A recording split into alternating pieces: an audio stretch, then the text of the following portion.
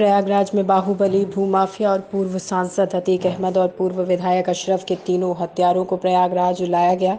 तीनों हत्यारों को आज सीजीएम कोर्ट में पेश किया जाएगा। पेशी के दौरान पुलिस रिमांड के लिए बहस होगी। देर रात ले जाया जा सकता है कॉलविन अस्पताल। अस्पताल में हो सकता है हत्या का रिक्रिएशन आरोपियों के मोबाइल फ़ोन की की जा रही है तलाश। सीसीटीवी और अन्य साक्ष्य जुटाने की की जा रही है कोशिश। रिमांड के दौरान हत्या के पीछे के मूल मकसद की भी होगी जाँच।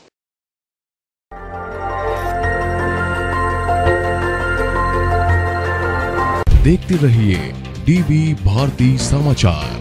नज़र हर खबर पर।